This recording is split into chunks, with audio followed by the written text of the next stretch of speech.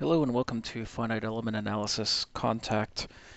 And today we are going to take a quick look at the contact types. My name is Mike Fiedler. I'm a designated support specialist with Autodesk. And what we are going to do is move over to Inventor Nastran and we'll take a look at a simple assembly and explore some of the different types of contact. So let's go ahead and do that now. Here we are inside of Inventor Nastran and I have a simple assembly. As I mentioned, this trailer hitch assembly will be uploaded so that you can access it.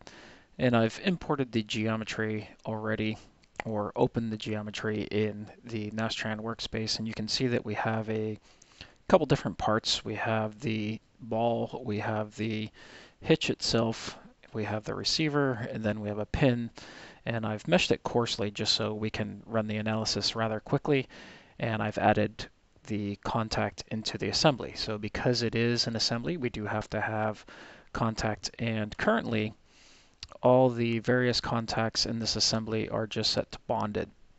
We will have a subsequent video where we go over with a different assembly the full start to end analysis including setting up some type of contact.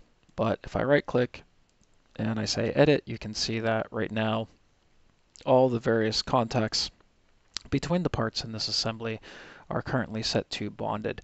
And we'll say OK to that. And let's just go ahead and run that real quick. I should mention as far as loads and constraints, we have the back face of the receiver fixed, and then I have a load uh, on the ball and again, everything is currently set to bonded. So you can see that that runs relatively quick. And if we take a look at the model in our results, so uh, we can kind of see from the results of this assembly that it is a bonded type of analysis. So again, we have this end completely fixed, but the receiver is bonded to the pin, and likewise the receiver is bonded to the uh, hitch itself and also the hitch to the pin, so on. So part to part to part along down this chain, we have all the parts bonded, which means that they cannot pull apart and they cannot pass through one another. Uh, there's no sliding allowed. So, you know, given the load that we have on this, we get a, a bit of a hinging effect here and we see the, the max stress occurring here on the hitch itself. Um, where the, the geometry changes direction here, kind of a radius.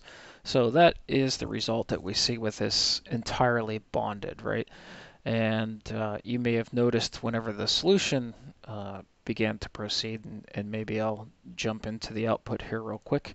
Uh, as we go through that, um, because we have defined some sort of contact to it, we have contact segments. So the program does need to add contact segments for each one of those surface interactions that it sees, even though they are bonded, meaning they're not allowed to slide or again they can't pull apart, can't pass through one another, the program still needs to have contact segments in order to track the interface between those those mating surfaces. So um, that does add to the solution time.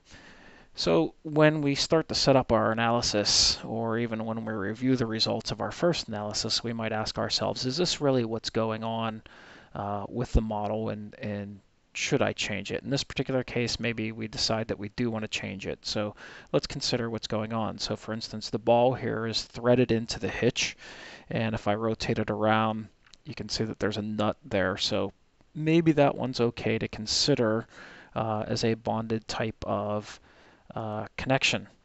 But really, the hitch slides into the receiver, right? And then it's just the pin going through here that keeps the connection between the receiver and the hitch. And then likewise, the pin is generally slid in, and then there's like a cotter pin or something similar to to maintain the the pin through that hole. So in that case, uh, we might say to ourselves that the bonded connection is, is not appropriate. So as far as changing them, I'm going to change all of them except for the one surface contact that is the hitch ball. I'm going to go ahead and leave that as, as bonded and I'll just shift select all the other contacts and we're going to change those to a, a different type of contact. So let's go to edit. And from the pull down menu, there are all the different types of contacts. So separation is the fully general. It's allowed to slide. It's allowed to pull apart. Uh, it just prevents parts from passing through one another.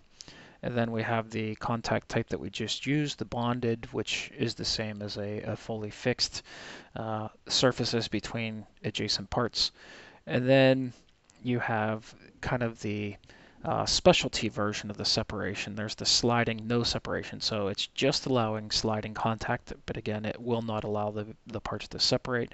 And then the inverse of that says, I'm, a, I'm going to allow separation, but I don't want to see the parts sliding Underneath that, you have your offset bonded.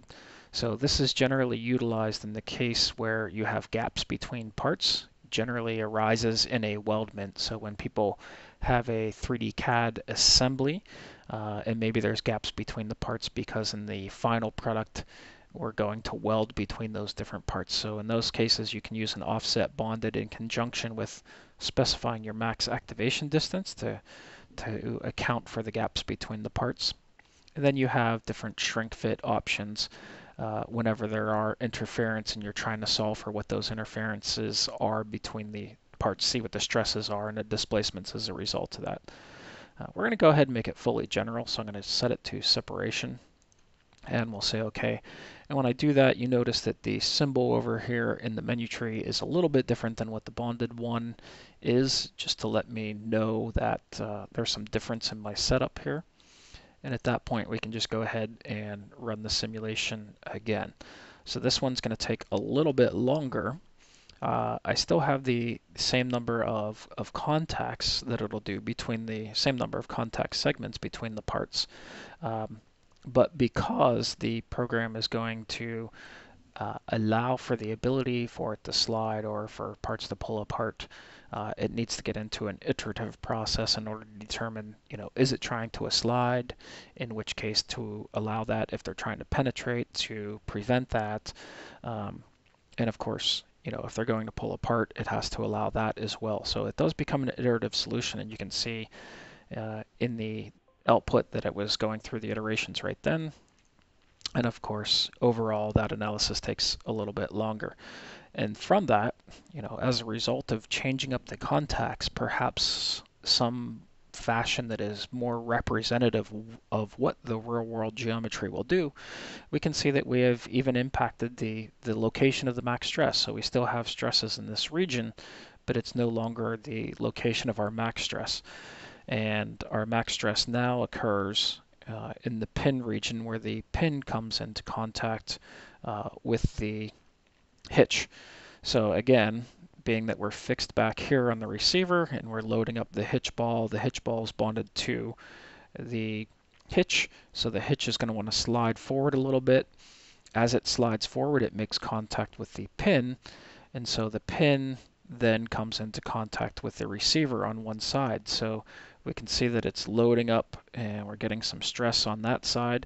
And you can see if we zoom in here, because it is separation contact, it allows the pin to pull away from the receiver here. So we're even seeing a gap there. So this is probably a little more representative of what will actually happen uh, with the real world condition. So that's why we have all the different types of contact there so that we can set up our model appropriately and it will have an impact on your results in, in most cases. So just be aware of that. I'm going to leave you with one final note. Uh, I did mesh this rather coarsely. I believe I meshed this model at uh, either a quarter of an inch or half an inch um, so that we can solve it in real time rather quickly. But if you do end up downloading this model and, and you run a finer mesh on it, you should still see the separation here, presuming that you use separation contact, you should still see stresses develop on this side. Uh, but the maximum stress will actually occur uh, in the radius here where the hitches build up uh, around the ball. So we have meshed the model so coarsely in this particular case that we haven't captured that detail. So uh, that's another good point to make sure that your, your model's always adequately meshed.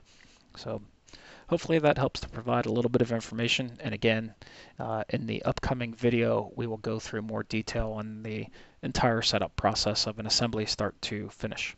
Okay, thank you.